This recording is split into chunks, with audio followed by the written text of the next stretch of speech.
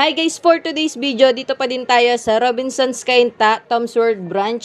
At may isi-share nga lang ako sa inyo na napakasayang pangyayari dito sa Tom's World. Dahil habang naglalaro nga ako dito sa claw machine ay may nakakita sa akin na nakakuha ko ng stuff toy dito. Dahil natuwa nga sila at may nakuha kong stuff toy ay gusto din nilang maglaro para makakuha din sila. So shoutout nga natin si Ma'am Pinky Mauricio. Hello po sa inyo ma'am at ito na nga po ang inyong video. Nung una nga ay gusto ni ma'am ako ang maglaro para ibigay sa kanya yung mapapanalunan. Pero mas pinili kong siya ang palaruin at turuan na lang ng double tap technique So, ito na nga ang kanyang actual video na paniguradong matutuwa din kayo sa makikita niyong reaction ni ma'am. At ito nga po pala ang first time daw po niyang paglalaro dito. Sige, kaya na yan?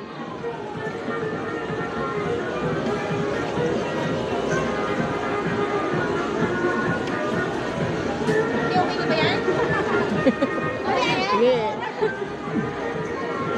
Pindot. Yan. Ah, di ba?